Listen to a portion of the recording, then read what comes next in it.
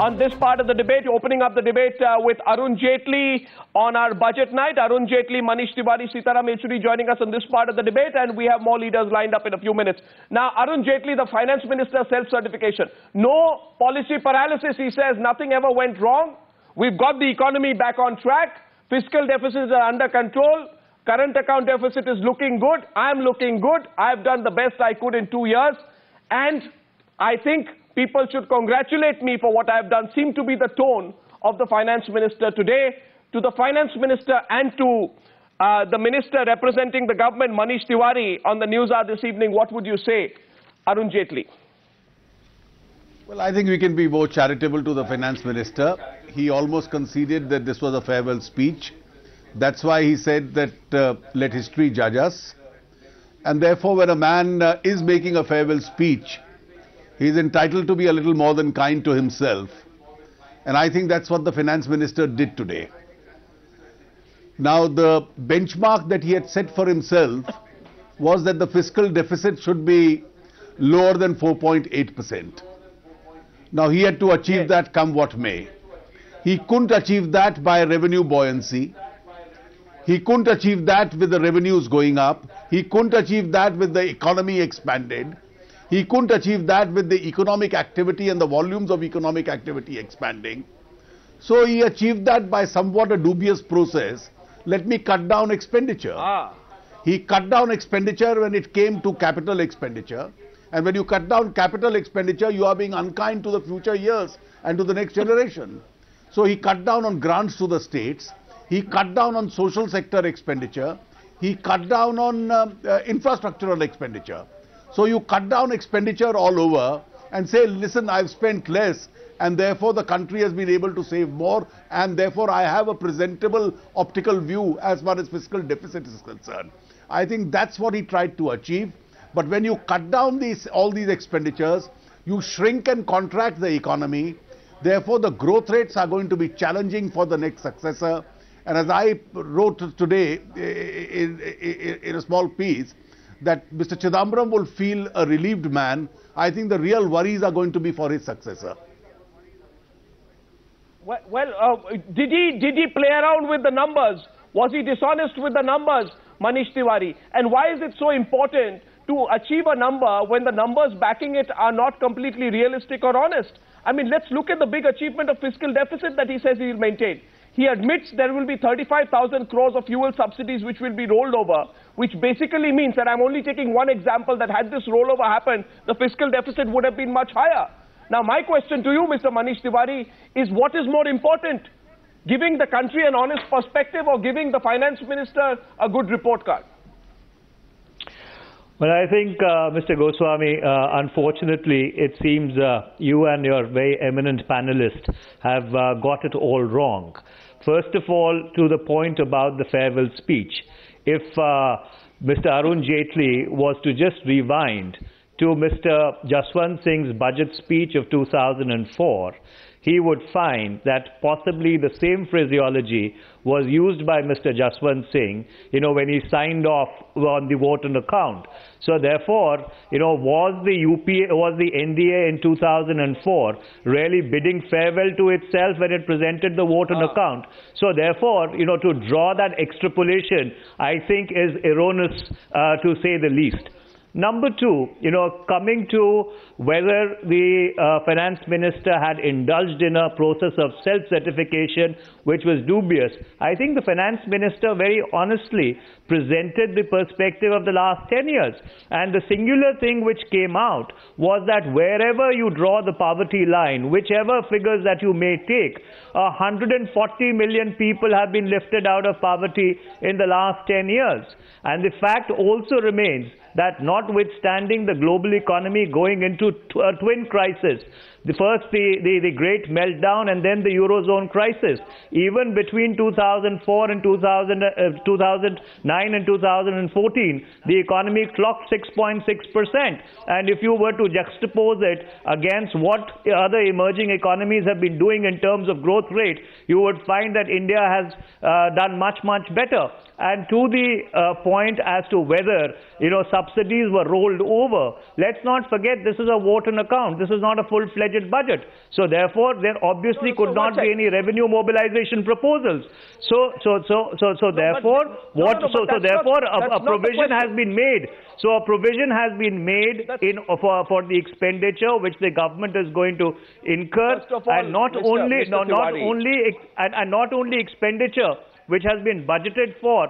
But allow me to also point Yes. out, Mr. Goswami, that what Mr. Jaitley said Yes, that you know expenditure of states was cut five and a half lakh crores. You know, on, on an average, I don't have the exact Sir, figure with me, but five and a half lakh crores is what the central government is going to transfer to the state governments. And if you look at the trend line of the transfer from 2004 and 2014, it's been going up every Sir. year.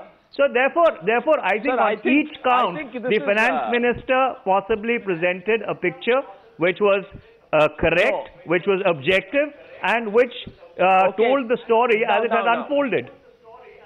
No, no, but that's all. No, no, one second, one second. Just hold your thoughts there, Mr. Manish Tewari, because, because first of all, I think we'll have to get Mr. Jaitley to respond.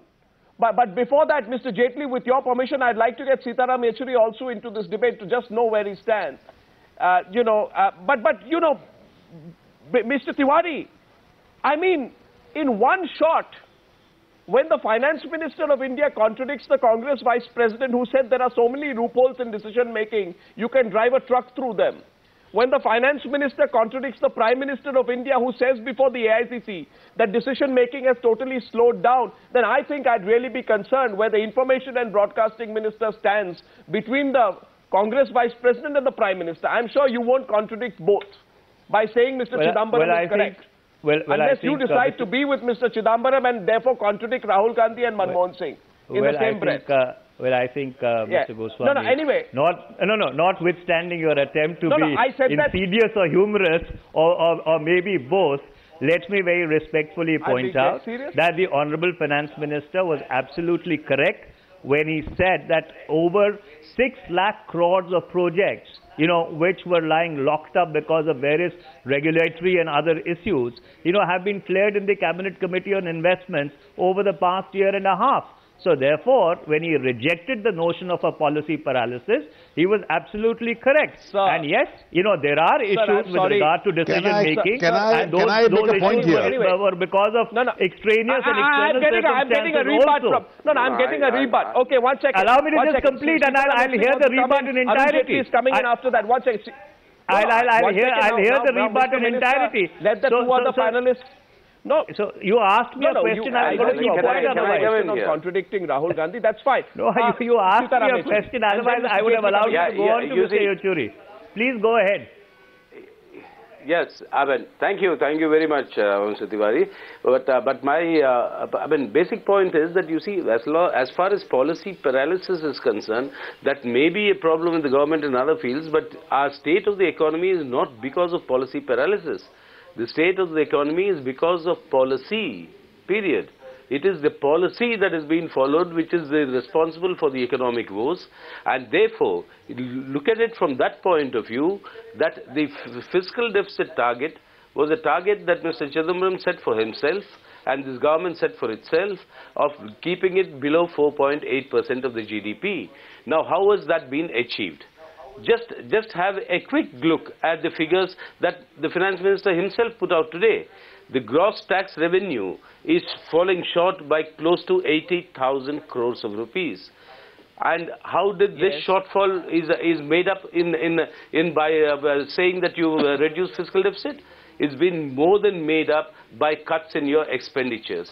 From your budgetary estimates that he gave last year to what is the revised estimates that he put out today, you will find that the central plan outlay has been cut down by, I mean, not spent, what has been allocated by something like a whopping 66,000 crores of rupees. Your plan, our central plan was reduced by 63,000 odd crores of rupees. Your likewise, your assistance to plan expenditure for the states and union territories has been reduced by close to 18,000 crores.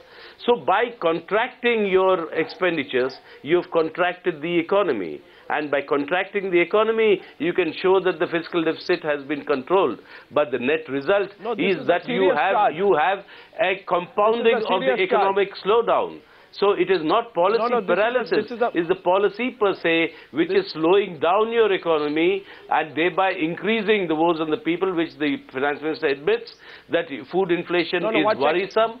So the net result is that this fiscal deficit target has been achieved At- through an at this contraction. At this stage, Ah. I understand. This is a very serious charge, and I'd like to just like to just summarize this before I go back to Mr. Jaitley. A very serious charge emerges at this stage of the News Hour debate, where, Mr. Tewari, the government faces the charge of using tricks in the book to make the numbers appear better than they are. Let's not forget, subsidies expenditure should have been dispersed in 2013-14 of 123,000 crores, which is a tad more than 1% of India's GDP. It was rolled over by the government to keep the fiscal deficit lower than the 13-14 target of 4.8% of the GDP. So you are using these tricks in the book, which in my view are fairly transparent, to make your numbers look better than they are, which is the charge here that you cannot certify yourself on the basis of doubtful numbers, Mr. Tewari. But yet, before you respond, on the question of policy paralysis, I think Mr. Jaitley also wanted to come in. Mr. Jaitley. Well, I have just three points to make on this. How is it that the rest of the world is looking at the Indian economy? From 1991 till 2004, the world looked at India as a good investment destination. There was a certain amount of confidence that we gave to the world at large and investors were willing to come in. Post 2004, I think UPA 1 partly survived on account of the impetus of the past policies. But then UPA 1 was caught between two distinct ideologies. The party bosses wanted a pursuit of populism where you can straight away go in for vote banks rather than prudence. And the government decision makers caved into the party bosses. Slowly we moved to a situation where Indian economy has gone down as far as the investor priorities are concerned. The domestic investors are also looking elsewhere. Secondly, Mr. Chidambaram became the finance minister in 2004. He inherited a growth rate of 8.5%. Rather than just touting their own logic, last three years, you are leaving behind an economy where the average growth rate of three years is less than 5%. Thirdly, Mr. Tewari can today come and boast of the fact that we have a cabinet committee on investment which has cleared projects worth 6 lakh crores. These are projects, more than 300 projects worth 7 lakh crores which have been held up for four, five years.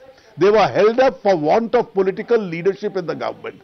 They were held up because the Prime Minister could not overrule ministers who were objecting. And therefore, investors who wanted to invest in those projects really were losing confidence in the Indian economy. People started looking elsewhere. Now, when you found that the backlog had really mounted up, in the last few months, you constitute a cabinet committee and say, Well, I start uh, uh, uh, uh, clearing all these projects.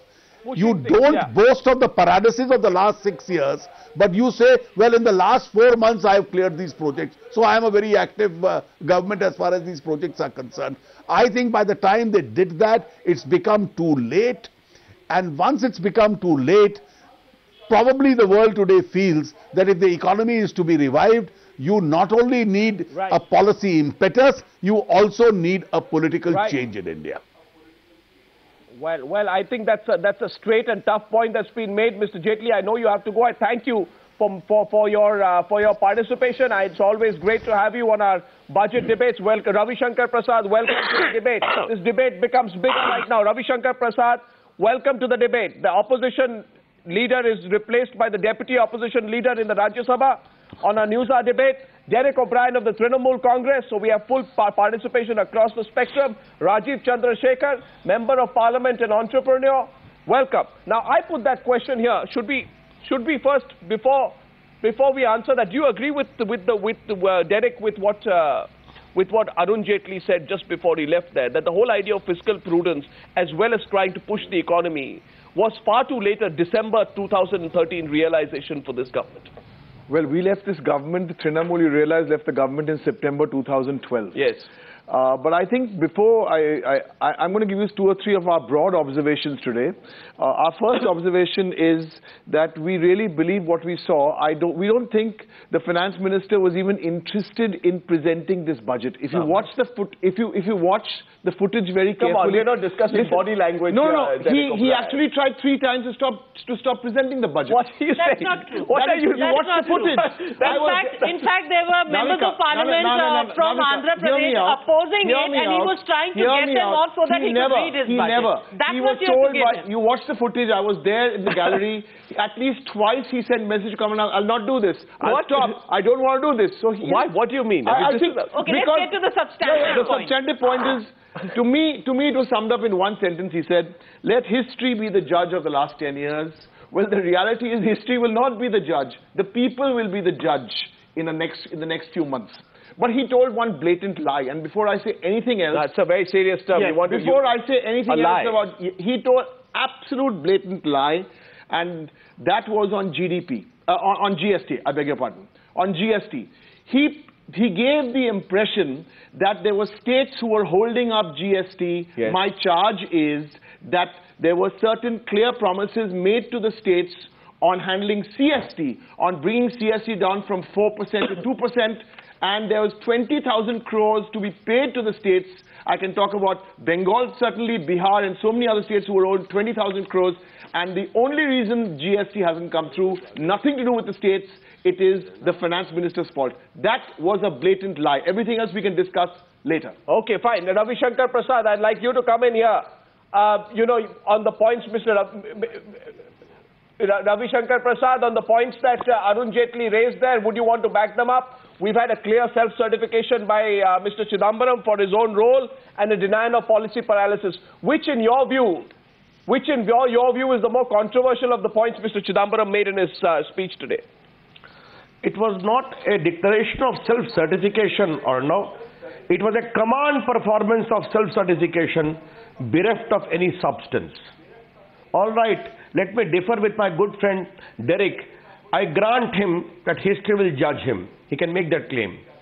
But he has to explain how the very competent quote-unquote Harvard-educated finance minister who brought a legacy of 8.5% of growth, admittedly, which he commended in his economic survey of 2004-5 as the best in 30 years, except two years, that was the period of Mr. Bajpayee government, how he squandered it away to 4.8%.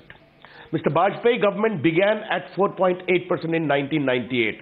And now we are hearing a lot about international factors, global meltdown. When Mr. Bajpayee government was there, in which I had the privilege to serve as a minister, there was Kargil war.